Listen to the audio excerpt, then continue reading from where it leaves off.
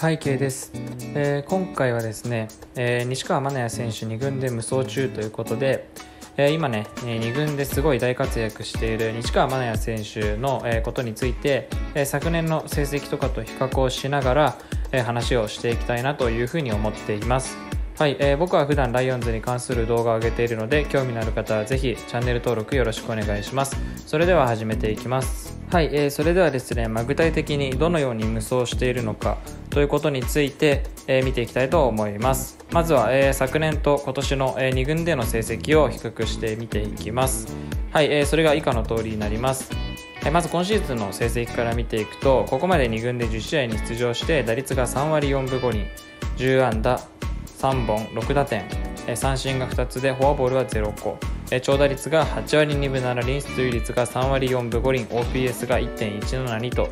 いう成績を残しています。一方昨年はどういう成績だったのかというと32試合に出場して打率2割7分7厘28安打ホームラン1本12打点三振が24個。えー、フォアボールが8個、えー、長打率が3割7分6厘出塁率が3割3分 OPS が0.706と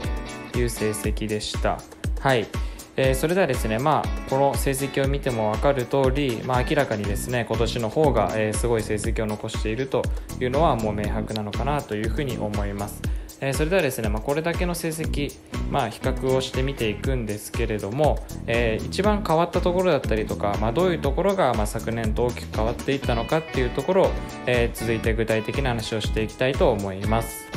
はい、えー、それではですねまず昨年との大きな違いを、えー、僕の方から2個、えー、話をしていきたいと思いますまず1つ目は長打力の向上になります、えーまあ、昨年のこう成績を見てもらうと分かる通りえー、もうすでにですね、えー、本塁打数が昨年の1本上回る3本打ってるんですね。はいまあ、昨年は、えー、32試合に出場してホームラン1本だったのに対して今年は10試合の出場でもうすでに3本打っているということで、まあ、明らかに長打力のが向上しているというのが分かると思います。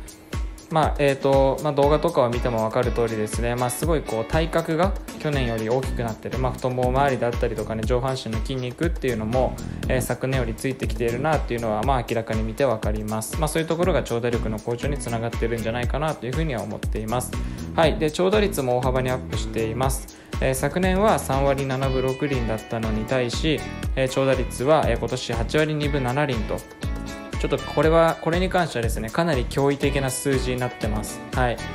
えーまあ、長打率ですね、山川選手が今1軍で残している長打率が確か7割9分ぐらいなんですけれども、えーまあ、その長打率も上回る8割2分7厘というのはこれかなり驚異的です。さすがに1年間ねこの数字を維持しながらっていうのは、えーま、厳しいと思うんですけれどもちょっとですねあの8割2分というのは、ま、かなりえげつない数字にはなってます。はい、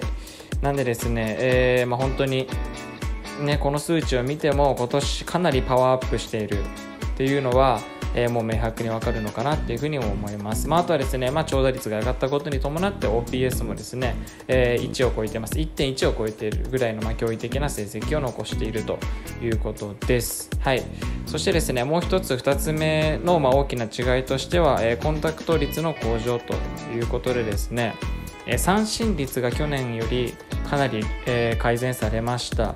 えー、昨年はですね2軍での三振率21.8%だったのに対し、えー、今季はここまで7.4%と大幅に改善されています。はい、やはりですね、まあ、何が言いたいのかというと、まあ、三振をしてないということは、まあ、それだけこうバットにボールを当てているということなんですね、ま、コンタクト率が上がっていると。いうことなので、ま、当然こうバットにやっぱ当たった方がヒットだったりねホームランだったりの確率ってやっぱ上がってくると思うんですよ。はい、そういったところでやっぱこうしっかりとバットに当てれるようにもなってきてる、まあ、長打力が上がってきているっていうのももちろんあるけど、まあ、その確実性だったりとかしっかりとこうバットをボールにミートできる、確率も上がってきているっていうところが、まあ、今年のこれだけの、要因につながっているのかなというふうに思います、まあ、打率を見てもらうと分かる通り昨年は2割7分7厘だったのに対し、今年は3割4分5厘ここまで残してますよね、はい、なのでやはりこう、まあ、コンタクト率三振率が大幅に改善されたというところもですね、えー、昨年の成績と、まあ、今年これだけ飛躍をできた要因だというふうには思います。はい、えー、それではですね、まあ、今、えー、今年の西川真也選手の成績と、まあ、昨年の、えー、2軍での成績っていうところを比較をしてみてきて、えー、まあ本当に今シーズンはねかなりバッティングっていうところでね成長している、まあ、特にこうパワーアップ長打率っていうところがねかなり改善されてきているっていうところが、まあ、分かったと思うんですけれども、まあ、やっぱりですねこれだけね2軍ですごい成績を残してるとやっぱ1軍でね早く見たいじゃないですか。はい、なので、まあ、最後はねちょっとこうこれ今後のねマネヤ選手の、まあ、起用だったりとか、えー、まあ、昇格とかについてね話をしていきたいなと思っています、はい。まあ、今ね絶賛無双中のマネヤ選手なんですけれども、えー、実はですねまだ2軍で守備について出場していません。はい。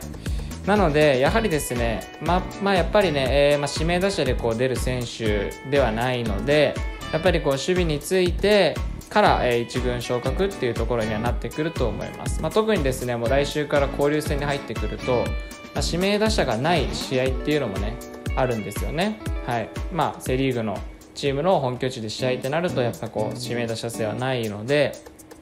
あのまあ指名打者制が、ね、こうない試合っていうのもついてああの増えてくるので、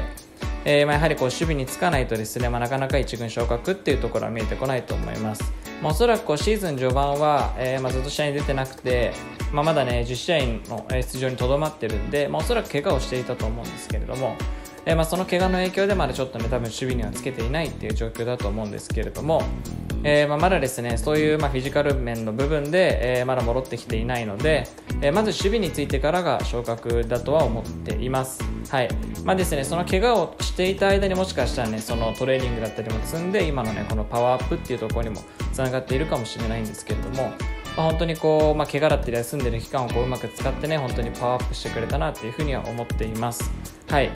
ただですね、まあ、先ほどもねやっぱ1軍昇格っていうのはやっぱりこう守備についてからっていうことだと思うんですけれども、まあ、今のこの西川選手の打撃を見るともう指名打者でもいいから1軍に上がってきてほしいってそういうふうに思わせるぐらいすごい打撃をしているなっていうのはやっぱり思います。まあ、特にですね今ライオンズの1軍の、えー、野手陣というのが、まあ、かなり苦しい状況、はいまあ、特にこう打線というところがねこうなかなか点が取れないというところですごい苦しんでいるのでまあ、本来であれば西川選手って指名打者で出るような選手ではないんですけれどももう今のライオンズからしたら本当に今すぐ指名打者でもいいから出てほしいっていうぐらいそれぐらいもう魅力的なバッティングを今2軍でしてくれてます、はい、なので、まあ、本当にこう1軍昇格っていうところがもう僕もすごい楽しみだし、まあ、ファンの皆さんも本当にすごい楽しみだと思うので、まあ、守備についてからにはなると思うんですけれどもそこも、えー、ぜひ期待をして、えー、見ていきたいなというふうに思っています。はい、でそしてですねまた付け加えて言うとやはりこう外野のレギュラーっていうところは今もうオグレディ選手しか今いない状況ですよね、はい。まあ、オグレディ選手は今2軍で、まあ、もうすぐ1軍に上がってくると思うんですけれども、まあ、それでもやっぱりあと2枠は、外野の枠って余るんですよ。で、まあ、今シーズンずっと好調で試合に出てた金子選手がえー、まあ、先日の試合で肉離れということで、まあ、長期離脱、まあ、1ヶ月ぐらいの離脱はねおそらくなると思うんですけれども、えー、なので、まあ、さらにこう外野って、まあ、今チャンスがこう広がっている状態なんですね。はい、若い選手に今すごいこうチャンスがある状態。で上にいる選手たち、まあ、愛斗選手、岸選手、高木選手、戸川選手あたりが今外野の若手陣の中では1軍にいるんですけれども、まあ、愛斗選手とかねこうここ最近ちょっとずつねバッティング良くなってきている部分はあるんですけれどもなかなかねそれ以外の選手今1軍で結果を残すことができてないんですよね。なので本当にこう今西川選手も、ま、外野のこうレギュラー候補としてね期待をされる選手になってくるのでめちゃめちゃチャンスなんですよ。はい。なので、まあね、まだこう焦る必要はないんですけれどもまず守備についてからこう1軍上がってきた時にはもうレギュラーっていうところぜひ狙ってほしいし、まあ、特に金子選手がいない間っていうのはねすごいこうチャンスだと思うので、えー、もうそこでね1軍でもうレギュラーつかむぐらいすごい頑張って活躍をしてほしいなというふうに思っています。はいでですねまあこれも最後付け加えて言うとですねやっぱり今1軍のチーム状況特に打線野手事情に関しては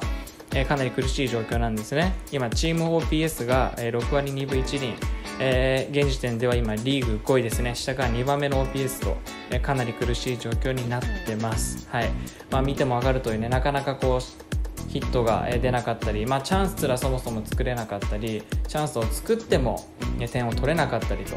いうところでですね今かなり苦しい状況なんですね。で今山川選手もねなかなかこうちょっと不調に入っていてえーまあ、頼みの山川選手が打ててない状況でなおさら今苦しい状況に陥ってるんですよ、はい、なのでやっぱりこうチームの、ね、雰囲気をこう変えるような起爆剤的な存在が今のライオンズ、